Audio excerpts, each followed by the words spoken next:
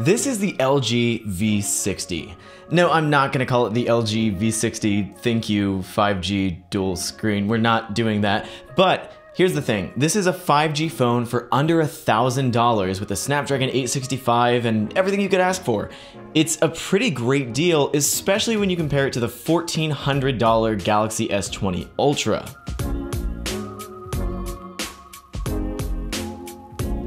Let's start off with what's good about this phone. The V60's hardware is gorgeous. It looks almost exactly like a Galaxy S10 from the back with this elongated camera housing, but it has a flatter design that sort of abruptly tapers instead of rounding off.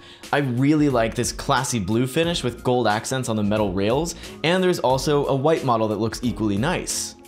The thing's built like a tank and it's got all sorts of hardware amenities. It's IP68 water resistant, it's got quick charge 4 and wireless charging, you get a fantastic set of stereo speakers, and look at that, there's still a headphone jack, it isn't totally dead yet, and of course you get LG's incredible quad DAC for high-res wired audio. This 6.8 inch display up front is totally flat, and while it's limited to just 1080p, I think it looks really great. It's color accurate, it's bright enough for outdoor visibility. My only two complaints with it are the big bezels around the perimeter and the 60 Hz refresh rate. Seriously, 90 and 120 Hz panels have been pretty common for over a year now, so 60 feels like a pretty noticeable downgrade, but if you're coming from a phone that already has a 60 Hz display, and you probably are, this really isn't that big a deal. Now, if there's one huge headline victory for the V60, it's definitely the battery life. LG crammed a 5000 mAh battery inside, and paired with the 1080p display and super efficient processor, endurance on the V60 is unreal. It's been basically impossible to kill in one day, and we were only able to reach 30% after 5 hours of screen on time and an hour long group duo call. So yeah, the phone's big and heavy, but it all pays off with some of the best battery life we've seen on any phone in recent history. Now about the cameras, LG went pretty basic this year with just two cameras and no dedicated telephoto in a time when zoom is a pretty major focus. You get a 64 megapixel primary sensor with 4 to 1 pixel binning for 16 megapixel output along with a 13 megapixel ultra wide. There is technically a third Z camera, but that's just LG's fancy name for its advanced time of flight sensor.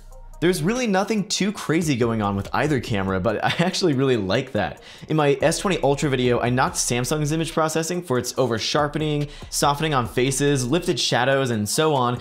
None of that is a problem on the V60's camera, everything just looks natural and as it should.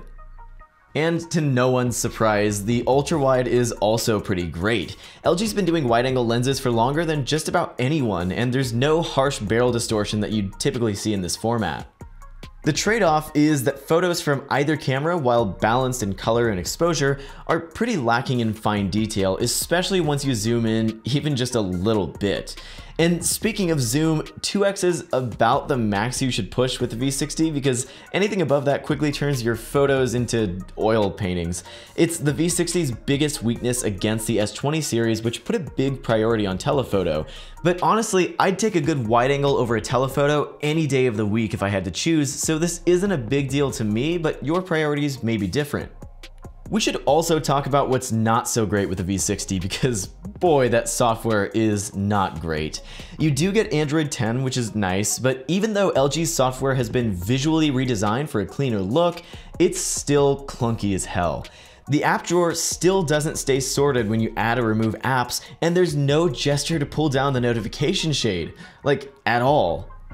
There's also a ton of bloatware on this AT&T unit I've been reviewing with over 30 apps pre-installed from Candy Crush to CNN and DC Universe. It's just insane. And LG doesn't plan on selling an unlocked variant in the States, so this is the only option you're gonna get.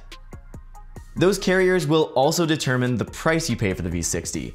T-Mobile's listing it at just $800, which is two-thirds the price of the S20 Ultra for a pretty comparable phone. Meanwhile, AT&T and Verizon are selling it for $900 and $950 respectively, but for that extra money, you're at least getting the dual screen attachment, which I didn't mention before because it's really the same thing we saw on the G8X. It's a little half-baked, and the software management isn't the greatest, but you do get twice as much screen when you want it, which can really come in handy. Look, the V60 has its quirks and compromises, but none of them are enough to be deal breakers. Software is entirely subjective, and most of what I don't like about the software can be fixed with a third-party launcher, even if it means sacrificing the full screen gestures and going back to three-button navigation. I rarely take zoom photos for the quality difference to matter that much to me, and I really do like the regular photos that come out of these two cameras. And again, there's just nothing like the V60's battery life, and for that alone, I'd say you should go out and buy it. This isn't a better phone than the Galaxy S20 Plus or S20 Ultra, but for hundreds of dollars less, it sort of doesn't have to be. Hey everybody, thanks for watching. If you enjoyed this video, be sure to subscribe to the channel and go check out our full thoughts on the V60 over at androidcentral.com. Until next time, stay safe, and we'll see you around.